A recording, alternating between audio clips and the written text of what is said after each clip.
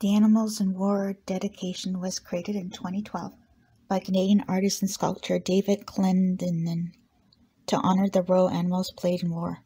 The footprints of dogs, horses, and mules are stamped into the concrete. A bronze life-size statue of a medical service dog wearing an authentic medical backpack stands guard over the dedication. It is symbolically set next to the South African War Memorial a battle for which Canada supplied 50,000 horses for mounted troops. Horses carried mounted troops and hauled field guns and supplies, including food.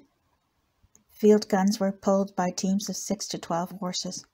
The dead and wounded were carted away in horse drawn ambulances. During the First World War, 8 million horses were killed, and another 2.5 million were injured as they transported soldiers and supplies to the battlefields.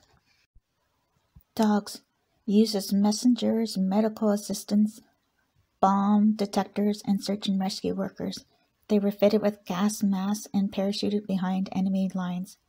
A casualty dog would carry medical equipment to an injured soldier so they could treat themselves and would also stay beside a dying soldier to keep them company. More than a million dogs died in World War I. Cats. An estimated 500,000 cats were dispatched to the trenches where they killed rats and mice. Rats and mice would eat into the provisions and spread disease among the soldiers. Some were also used as gas detectors, and others carried messages onto the battlefield with notes around their necks. Carrier pigeons delivered messages to specific destinations. Pigeons were trained birds which could fly at 40 kilometers per hour faster, relaying messages back from the front lines to headquarters. They were used to report cases of sinking or crashed ships and submarines.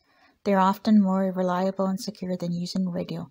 More than 100,000 were used in World War I.